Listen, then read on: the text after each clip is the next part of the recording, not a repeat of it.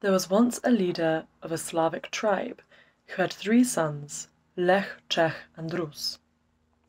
One day, this leader died and left the land that he ruled over to his three sons. After much deliberation, Lech, Czech, and Rus decided to split the land between themselves. Czech went west and established what is now Czechia. Rus went east and established today's Russia, and Lech he stayed exactly where he was in a green field and established what is now Poland, or as it is called historically and in some countries, Lechistan.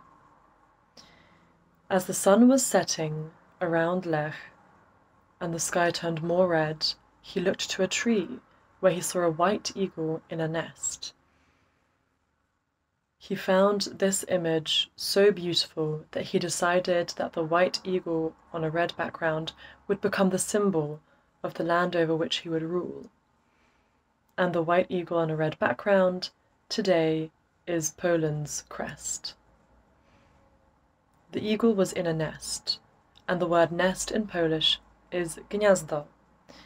Lech decided to name Poland's first capital city after the nest, Gniezno.